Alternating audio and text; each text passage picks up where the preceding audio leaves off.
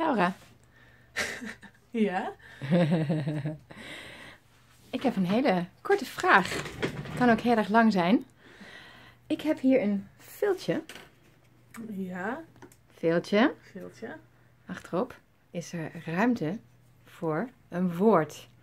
Het eerste waar je aan denkt als je aan verbinding denkt. Wil je die voor me opschrijven? Oh, moeilijk. Niet Eh, lang nadenken. Het gevoel. Verbinding.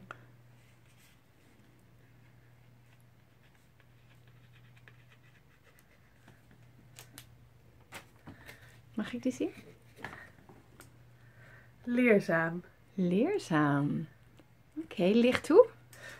Ehm, ik weet niet, altijd met verbinding, als je mensen ontmoet of ergens aan verbonden wordt, dan krijg je vaak wel weer nieuwe inzichten. En dan leer je op een leuke manier weer van iemand of van iets.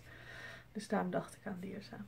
Ja, Dus, Dus- also, ik denk nog aan veel meer dingen eigenlijk, maar dit dat is je, mooi. Mooi, dat is je eerste spontane reactie. Ja, Je onbewuste. ja. En, en, en eh, pas je dat, hoe, hoe kunnen we dat vertalen naar de wijk? Verbinding in de wijk, is dat woord?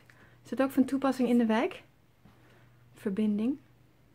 Mm, Wel als je het hebt over in de wijk eh, met elkaar verbinden, dus met eh, verschillende buurtbewoners. En Hoe kunnen die van elkaar leren?